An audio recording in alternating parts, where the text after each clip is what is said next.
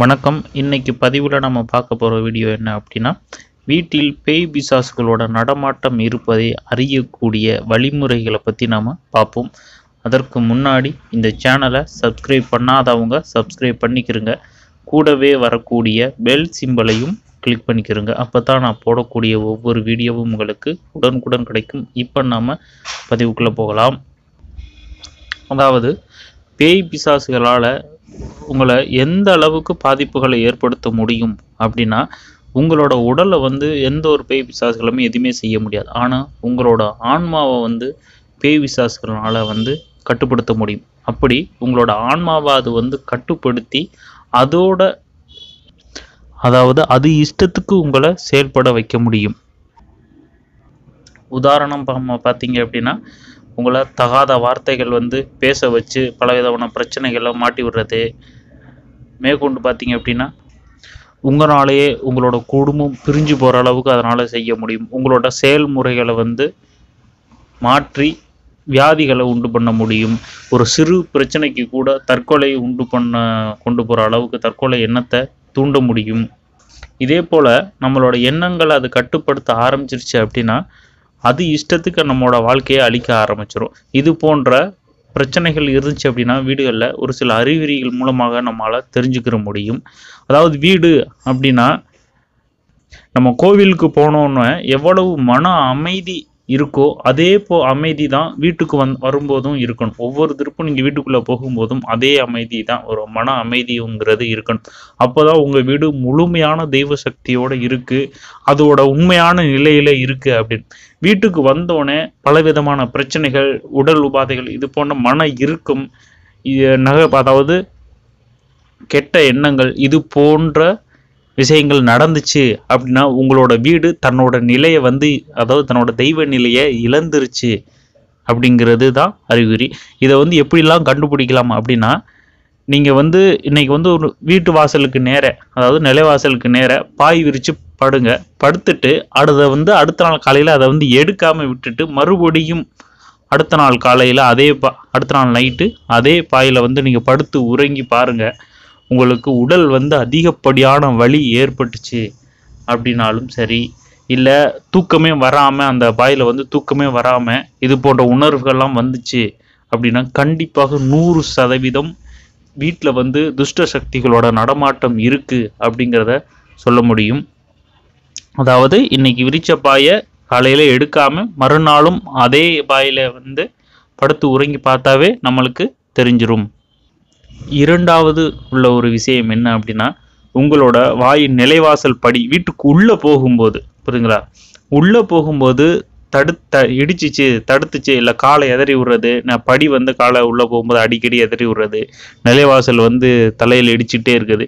இது போன்ற பிரச்சனைகள்லாம் வந்து அடிக்கடி ஏற்பட்டுச்சு அப்படின்னா கண்டிப்பாக வீட்டில் வந்து பேய் பிசாசுகளோட நடமாட்டம் இருக்குது அப்படிங்கிறத கண்டிப்பாக தெரிஞ்சுக்கிற முடியும். அடுத்து பார்த்தீங்க அப்படின்னா வீட்டில் வந்து சாம்பிராணி புகை போடுவீங்க இல்லை பத்தி வாசம் இதெல்லாம் பண்ணுவீங்க.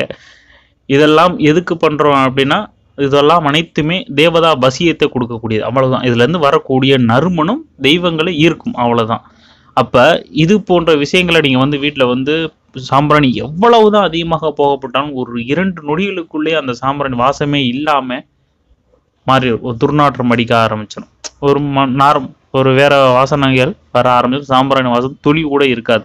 தெய்வத்துக்கு உகந்த வாசனை அங்கே இருக்காது. இது போன்ற உணர்வுகள்லாம் வந்தது. அப்படின்னா கண்டிப்பாக பேய் பிசாசுகளோட நடமாட்டம் இருப்பதை உறுதி செய்யலாம். அடுத்து பார்த்தீங்க அப்படின்னா வீடுகளில் வந்து இப்போ சாமி கும்பிடுவோம். சாமி கும்பிடும்போது சாம்பிராணியும் சரி இல்லை தீபம் கற்பூரம் ஏற்றுறதையும் சரி ஒவ்வொரு வீ அறையாக நம்ம வீடு முழுக்க நம்ம வந்து காட்டுவோம். அப்படி காட்டும் காட்டுவது தான் உத்தமம் அதுதான் சிறந்தது. அப்படி நம்ம காட்டும்போது நீங்கள் பூஜை அறையிலேருந்து வெளியே வந்த பிறகு ஒவ்வொரு அறையாக நீங்கள் வந்து இதே போல் செய்யும் போதும் நிலை ஏதோ ஒரு நிலைவாசல்கிட்ட போகும்போது கற்பூரம் அணைந்தது இல்லை வீடுகளில் வந்து இது போல் அடிக்கடி கற்பூரம் அணைஞ்சிக்கிட்டே இருக்குது ஏற்றிய கற்பூரம் எந்த ஒரு காற்றுமே வராமல் காற்றே அடிக்காமல் கற்பூரம் தானாக அணைஞ்சுது அப்படிங்கிற பட்சத்தில் இது போன்ற சக்திகள் இருப்பதை நம்மால் உணர முடியும்.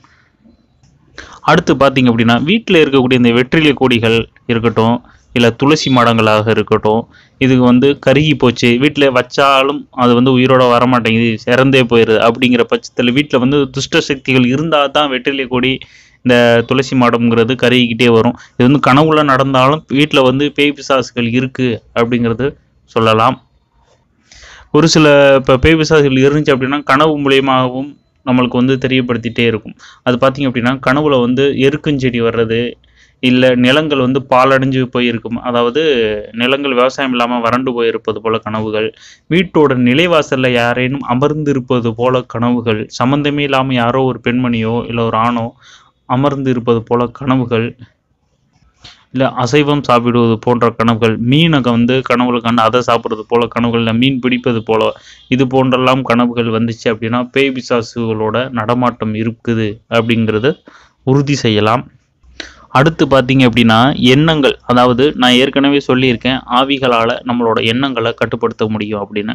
நம்மளுக்கு வந்து சாமி கும்பிடக்கூடிய ஒரு எண்ணமே வராத அளவுக்கு அதனால் செய்ய முடியும். இது போன்ற எண்ணங்கள் வந்துச்சு அப்படின்னா அதாவது நீங்கள் வந்து இப்போ ஒரு கோவிலுக்கு போகணும்னு சொன்னீங்க அப்படின்னா நினச்சிங்க அப்படின்னாலும் அது வந்து தள்ளி போய்கிட்டே இருக்கும்.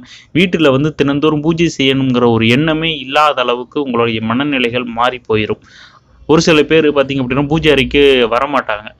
அப்படிங்கிறது வர்றது. ஒரு சில இப்படிப்பட்டவங்க பார்த்தீங்கன்னா ரொம்ப உக்கிரமான சிலைகள் இருக்கு பார்த்தீங்களா கோயில் சிலை? காளி கோயிலாம் படு உக்கிரமான சிலைகள். அதெல்லாம் பார்த்தோன்னே பயந்து அழுகுங்க.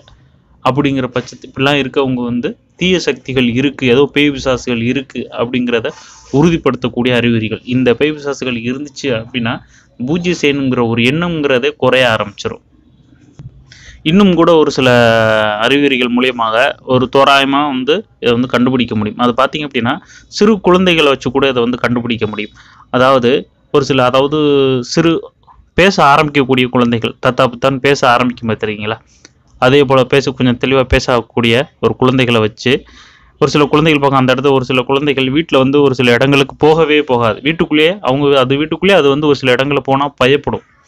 அப்படிலாம் இருந்துச்சு அப்படின்னா கண்டிப்பாக நூறு சதவீதம் ஏதோ ஒரு கோளாறு இருக்குது நீங்கள் விட்டு வந்த உடனே அழுக ஆரம்பிச்சிச்சு. இப்போ நீங்கள் குழந்தைய விட்டு வந்த உடனே அழுக ஆரம்பிச்சிருச்சு அப்படின்னாலும் இது போன்ற அறிகுறிகள் இருப்பதற்கு நூறு சதவீதம் வாய்ப்புகள் இருக்குது ஏன்னா குழந்தைக்கு அதோட முழுமையான விவரங்கள் தெரியும் வரைக்கும் அது வந்து எந்த ஒரு சக்தியுமே பார்க்க முடியும்னு நான் ஏற்கனவே சொல்லியிருக்கேன். அதே போல் ஒரு அறைக்குள்ள வந்து போக மாட்டேன்னு பயந்துச்சு அப்படின்னாலும் ஒரு சில குழந்தைகள் அங்கே ஏதோ இருக்குது அப்படின்னு சொல்லும் மாயார இப்படிலாம் சொன்னுச்சு அப்படின்னாவே கண்டிப்பாக ஏதோ ஒரு துஷ்ட சக்தி வீட்டில் நடமாட்டம் இருக்குது அப்படிங்கிறத நம்மளால் தெரிஞ்சுக்கிற முடியும். அதே போல் இன்னும் சில பார்த்தீங்கன்னா வெளியில் இருந்து உங்கள் வீட்டு நாய் இல்லாமல் வெளியில் இருக்கக்கூடிய ஒரு நாய்கள் எதுவும் வீட்டுக்கு வந்துச்சு அப்படின்னா அது ஒரு சில இடங்களை அடிக்கடி பார்த்துக்கிட்டு முகர்ந்து பார்த்துக்கிட்டே இருந்துச்சு அப்படின்னாலும் கண்டிப்பாக அங்கே ஏதோ ஒரு துஷ்ட சக்தி இருக்குது அப்படிங்கிறத உணர முடியும்.